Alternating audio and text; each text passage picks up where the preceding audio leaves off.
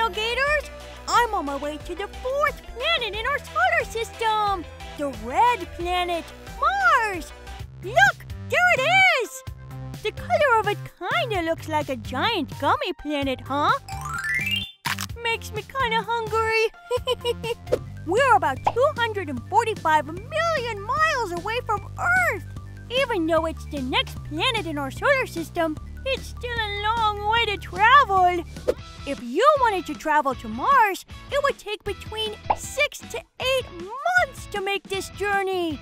I wonder what else we'll learn on this adventure to Mars. Let's check it out, little gators. I'm Gus the Gummy Gator. Today, we're Galaxy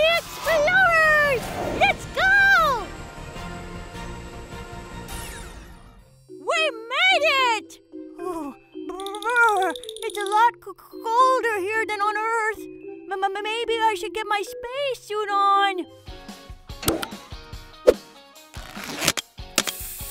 Mars is further away from the sun, and it has a very thin, dry atmosphere. This is why Mars is much colder than Earth. But the cold won't stop me from exploring. Let's land this thing.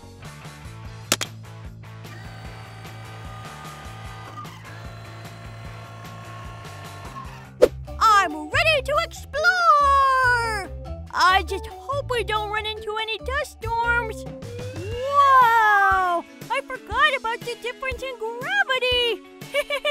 Mars has less gravity than Earth. I can walk, but it's bouncy. At least I won't float away. hey, what's that over there? Wow, these must be the rovers sent to Mars. Look, they're bigger than me! Everybody, meet the Mars rovers, Curiosity and Perseverance! Hi, Curiosity. Nice to meet you, Perseverance. These rovers are seven feet tall, nine feet wide, and ten feet long! That's the size of a car! They also weigh the amount of two grand pianos! Curiosity here has been on Mars since 2012. Curiosity's mission is to study the environment on Mars and find out if small life forms called microbes can live there. Curiosity has done such a great job on planet Mars, we sent him a friend to keep him company. the rover Perseverance arrived on Mars February 18th, 2021. Perseverance's job is to look for signs of ancient life by collecting and storing samples of rocks and soil. Hopefully, this will help prepare for human missions to Mars in the future. They even have color cameras for inspecting things close up, but also for selfies. The rovers have to inspect themselves to make sure they're operating in good shape.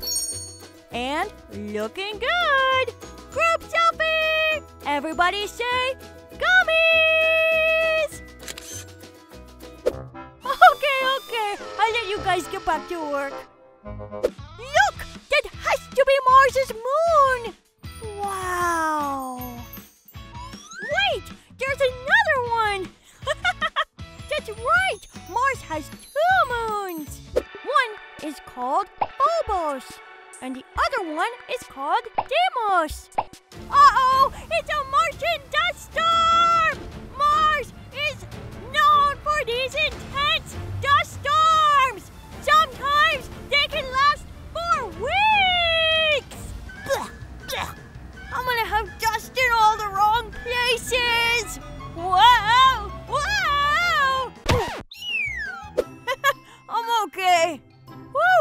I'm happy we're out of the dust storm.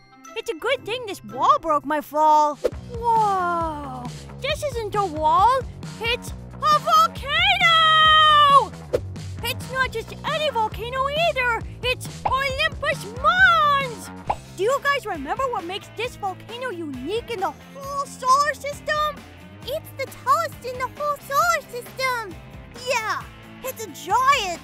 That's right! Olympus Mons is tallest volcano in the whole solar system! It's as tall as two and a half Mount Everest mountains on Earth, and it's also the size of the state of Arizona!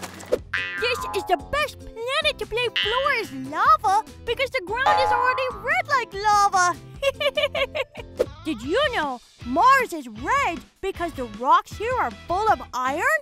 The iron gets swept over the entire surface in dust storms, so the whole planet looks red because the atmosphere is so full of iron. I have an idea. Why don't we take a sample back to Earth? We could study it or keep it as a souvenir. Either way, I'm sure Peck would be happy to take a look at it. Like I'm getting hungry. Let's head home.